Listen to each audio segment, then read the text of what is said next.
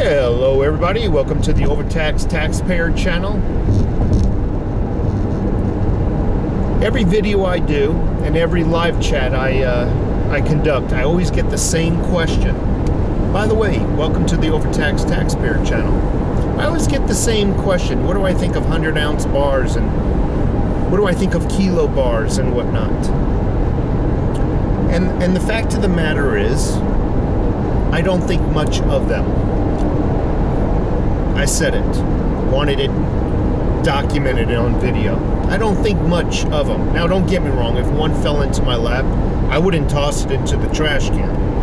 But I would definitely never spend my money on bars that big. Never. Now, I hear that Scottsdale has a 20 ounce bar, but the overtaxed taxpayer, his largest increment is 10 ounces. Now, I might buy the 20 ounce bar, might, because it is a stacker, meaning they're the tongue and groove. They'll clip into each other, they'll stack upon each other. But normally, 95% of my stack is one ounce increments. Both my coins and my bars one ounce increments. What are you going to do with a 100 ounce bar? When it comes time to sell it,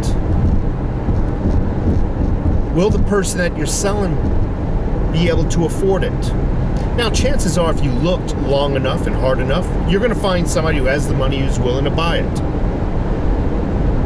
But it won't be easy as dumping a bunch of one ounce bars on the market or a bunch of one ounce coins on the market. Much more people will be able to afford it. In addition, the larger the increment is, the larger the bar, the more suspicious people are.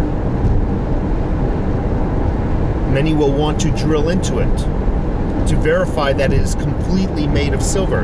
You know, there's a lot of forgeries out on the market that are just coated in a very thin coating of silver, also known as cladding.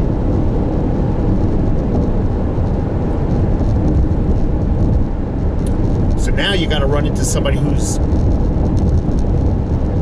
can afford it, but then you also have to run into somebody that also has a drill on them. Now, obviously, I know I'm being a little facetious there. You can go to a coin shop, but let's granted, coin shops think the same way I do.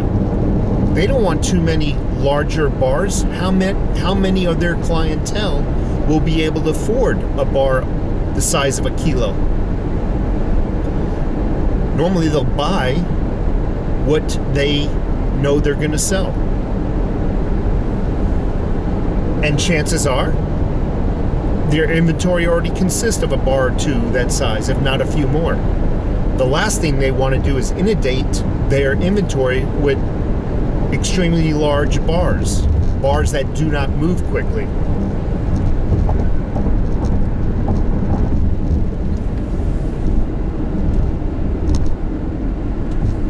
I already talked about the forgeries. The larger the bar, the more common the forgeries are. We all know the silver that's coming out of China being dumped on the eBay market looks very real. So, again, folks, I do not recommend buying one very large bar. It's kind of like going into Circle K with a hundred dollar bill and asking them, asking them to make change. They're just not going to be able to do it, folks. They're going to look at you and like, we ain't got the change. You know, the thing about a silver, a one ounce silver increment, you can you can basically get rid of it at will. And chances are, if somebody couldn't afford the full thing, they can give you eight bucks, nine bucks, and give you the rest in dollar bills that are in their wallet. They can make change, is what I'm saying.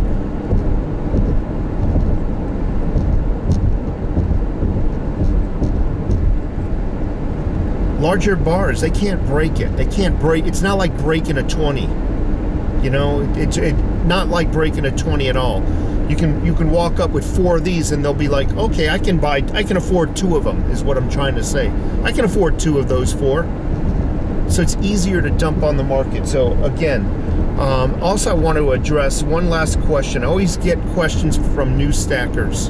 What's the difference between the uh, 2018 and the 2017? Why is one a buck more?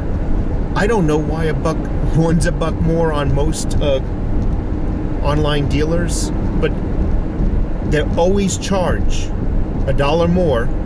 What is it for the older year? The newer year is a dollar less. It could be the supply and demand of that particular year, but for you folks who are silver stackers, do not concern yourself about the quality of silver from year to year. Every one ounce coin is one ounce. So when you go online to places like JM Bullion and uh, Provident Metals and APMEX, just if you want silver, just get what is cheapest. For example, if you want a silver eagle, there's going to be a few variations of silver eagles. Just get the cheapest one, and that way you have silver. Now you can get proofs, and they can get quite expensive, but again, in my opinion, silver is silver. Anyway, folks, you have a great day. I'm heading I'm heading off to work. Take care.